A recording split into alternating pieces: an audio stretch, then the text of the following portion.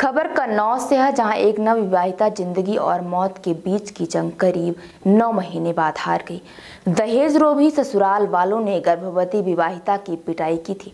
पेट में चोट आने के बाद विवाहिता का गर्भपात हो गया था और गर्भपात के बाद से ही महिला गंभीर बीमारी से ग्रस्त हुई थी। नौ महीने इलाज चलने के बाद विवाहिता की मौत हो गई है।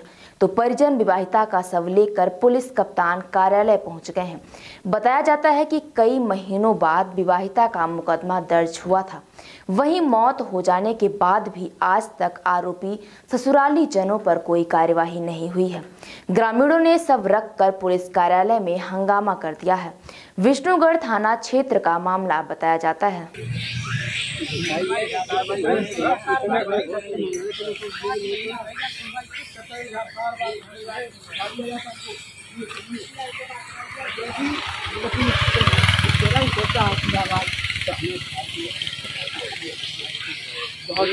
क्या नाम है आपका? क्या हुआ था आप लोग सब लेकर यहाँ पर आज? जी मेरी लड़की खत्म हुई तबाही था हॉस्पिटल मेडिकल कॉलेज का क्या हुआ था उसको?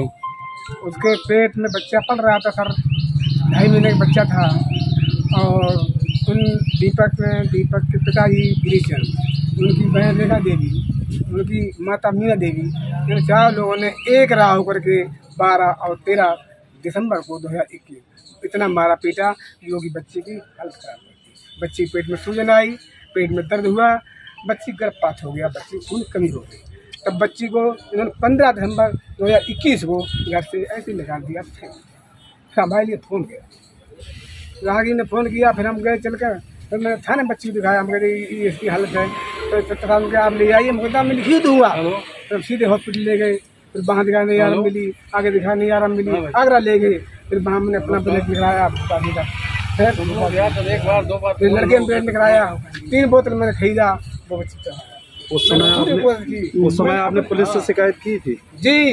जब घर वालों ने निकाला। जी जी। कई बार की बराबर शिकायत करते रहे करते करते तब इक्कीस जनवरी दो हज़ार बाईस को मुकदमा लिखा गया था। फिर वो क्या हाँ। आगरा में तीन बोतल बड़ी चढ़वाई साहब उसके बाद बच्ची को हम जैसे ही लेके घर पे आए तो एक रात में बच्ची की हालत फिर खराब हुई। फिर हम सेपई लेके गए। सेपई के बाद फिर भर्ती बच्ची रही। फिर बच्ची को कुछ राहत मिली। बच्ची की मौत कैसे हुई? बच्चे की मौत तो साहब ऐसे हुई कि लखनऊ में हम ले गए थे तो बच्ची खड़ी नहीं हो पा रही थी। बराबर दवाई पर ही भर रही पंद्रह दिसंबर 2021 से मेरी बच्ची ज्योति बराबर ही दवाई पर रही। या किसी हॉस्पिटल में या लखनऊ हॉस्पिटल में या आगरा हॉस्पिटल में या इटावा कुछ देख लीजिए आराम नहीं समझ लगा कर देते थे। तो अब लास्ट बार दोबारा जब मैं लखनऊ भर्ती किया जा करके था कब भर्ती किया था? भर्ती चौबीस तारीख। खत्म कब हुई है? खत्म आज रात में हुई थी साहब एक बज के तो एस पी ऑफ़िस क्यों लेके आए यहाँ पर? जी जी जी मैं लेके आया, मैं था कन्नौज किस लिए लेके आया? क्या मांग है? ये मेरी मांग है। कि मुझको साहब न्याय नहीं मिल रहा है। मरते मरते मेरी लड़की मर चुकी है बिल्कुल। अब मुझे कोई सुनवाई नहीं हो रही है। जो लड़की को इतनी परेशानी हुई है तो इनको भी घर सजा कठोर से कठोर सजा क्या आरोपियों पर अभी कार्यवाही नहीं हुई है? कोई कार्रवाई नहीं हुई। आपका घर कहाँ है? जिला मैनपुरी पड़ता है ग्राम ब्रह्मपुरा। लड़की की शादी कहाँ की थी? चित्रपुर में। थाना? थाना विष्णुगढ़। आप विष्णुगढ़ थाने गए थे इस मामले को लेकर? जी जी जी। क्या कहा वहाँ की पुलिस ने?